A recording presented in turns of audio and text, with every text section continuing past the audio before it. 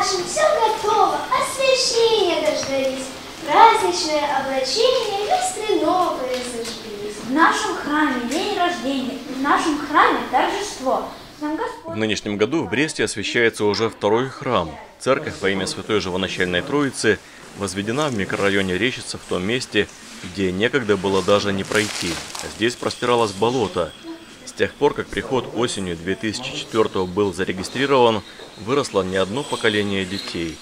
Начиналась церковная жизнь с молебнов и акафистов в палатке, а затем были построены поочередно временный храм и приходской дом.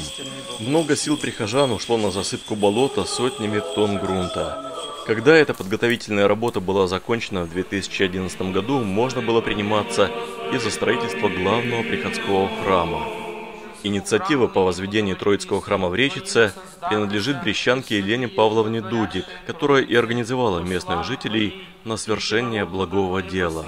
Просто я живу в этом районе, а храма нет.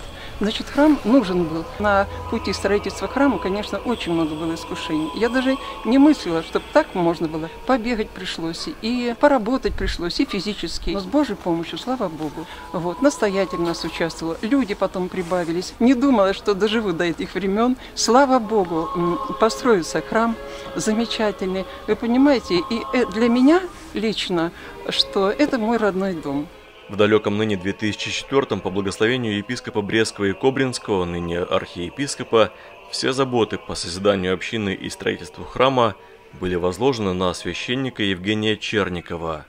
за усердное служение Матери Церкви и строительство этого храма, настоятель сего храма награждается храм служения Божественной литургии в соответствии царскими братами по Отче наш. Несмотря на длительный период возведения храма, действие благодати Божией в этом процессе невозможно не заметить, уверен отец Евгений. Главным образом в преображении, в укреплении в вере людских душ. Несмотря на кризисы, прихожане жертвовали на храм и свои силы, и время, и средства. У нас серьезных спонсоров здесь не было. Некому было. Вот наш спонсор. Здесь перед нами весь стоит. Все вот эти люди. И ходили, и собирали. И как-то с Божьей помощью, я говорю, ну такое поднять из болота, это, конечно, много стоит. Это Божие дело. Да. Господь помогал. Вот поэтому... Видя добрые сердца людей, видя ваши намерения. Поэтому будем всегда благодарить Господа. Да, я благодарю вас тоже за молитву, за то, что сегодня совершили вы благодатью Святого Духа.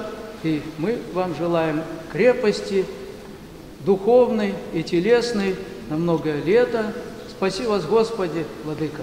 Спаси Господи, Бог помощи вам, Отец Евгений. Созидайте, созидайте, созидайте.